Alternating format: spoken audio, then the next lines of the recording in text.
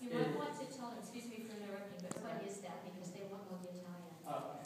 Um, it is Cinderella. It's from the opera.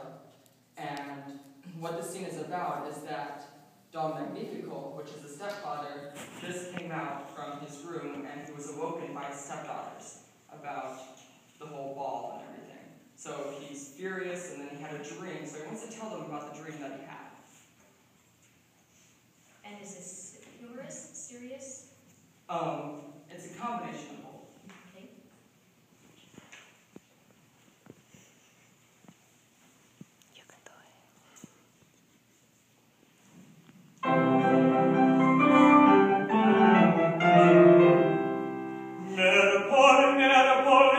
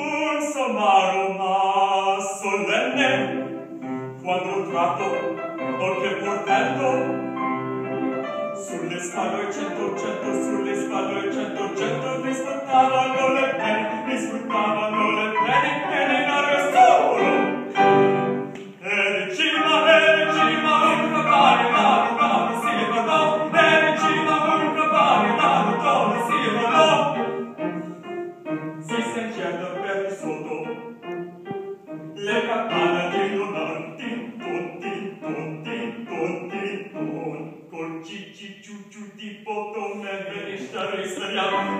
Thank you.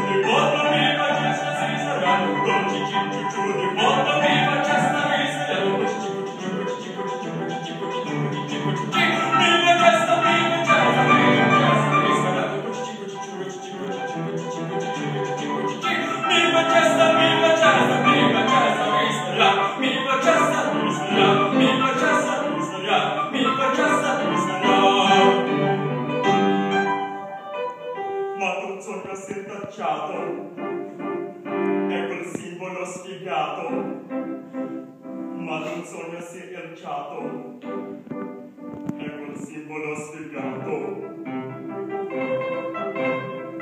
la campana sulla festa allegri la casa mia